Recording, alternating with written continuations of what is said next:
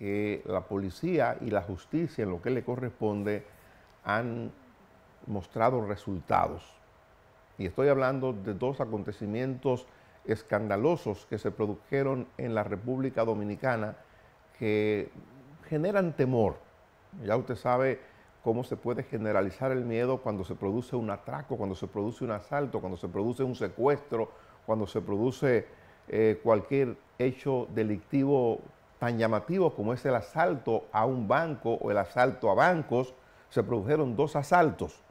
Un asalto a una sucursal del Banco de Reservas de la República Dominicana en Santiago. Fueron apresados los autores del el hecho, fueron sometidos a la acción de la justicia y se le ha impuesto como medida de coerción un año de prisión preventiva en lo que se le instruye el proceso. Eso quiere decir que hemos dado respuesta adecuada en tiempo adecuado a un acontecimiento alevoso de mucha preocupación, porque imagínese usted, si a plena luz del día se producen asaltos a bancos, ¿qué puede eso decir de la sociedad dominicana? Pero no bastó con eso. Posterior a eso, se produjo el asalto a una sucursal del Banco Popular Dominicano, aquí en la capital de la República, plena luz del día también, 4.30 de la tarde, en la Olos Palme y Avenida Luperón, como decimos nosotros, en el centro del pueblo,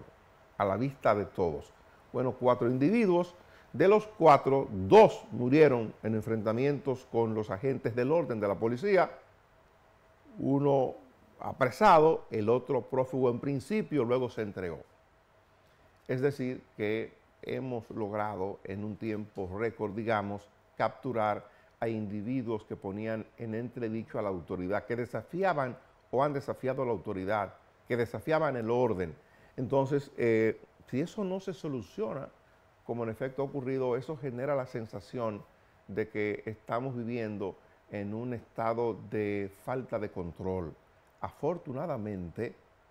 la policía ha actuado de manera diligente y de manera eficaz y ha dado con los autores de dos atracos, de dos atracos que se han producido contra dos instituciones bancarias de larga trayectoria, uno el Banco del Estado, otro el banco privado más importante de la República Dominicana y de más años, que es el Banco Popular. Entonces, eh, eso es un ejemplo, el que ha dado la Policía Nacional un ejemplo, el que ha dado también la justicia cuando se han presentado, la medida de coerción ha sido rápida y eh, complaciendo, atendiendo la petición que ha hecho el Ministerio Público de un año de eh, prisión preventiva a los responsables del atraco de la sucursal del Banco de Reservas. Creo que este tipo de acontecimiento manda el mensaje claro de que la autoridad está bien instruida de que la autoridad está actuando adecuadamente, pero más aún, porque fíjense ustedes, en la historia que conocemos de asaltos de bancos en la República Dominicana,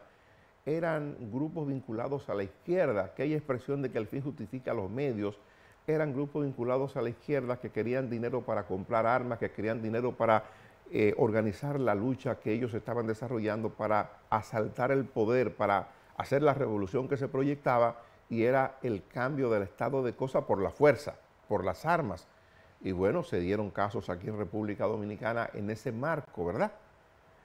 Y la otra cosa que podía generar el apetito por atracar instituciones financieras era entonces el, otro elemento de pobreza. Gente que estaban haciendo eh, actividades non santa en, en extrema dificultad material, habían entrado hace años a la delincuencia y eran delincuentes que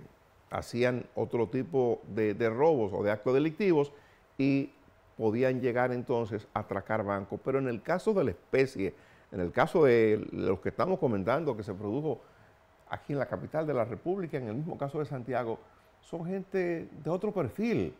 En, este caso del joven apellido Estella que se entregó en la parte este, eh, que es uno de los cuatro que participó en el atraco del Banco Popular aquí en la capital de la República, un joven que era modelo, es modelo, que había tenido eh, entrenamiento en tiro, que participaba en, entrenamiento de tiro. Era una persona que usted no lo suponía que tenía que vincularse a eso, una gente que, eh, que trabajaba, que tenía ingresos o que recibía ingresos, que sabía qué hacer para vivir. Entonces, este tipo de cosas nos da una dimensión distinta para entender esto en, otro esquema. De modo que hay que prestarle atención a lo que está ocurriendo en la sociedad dominicana.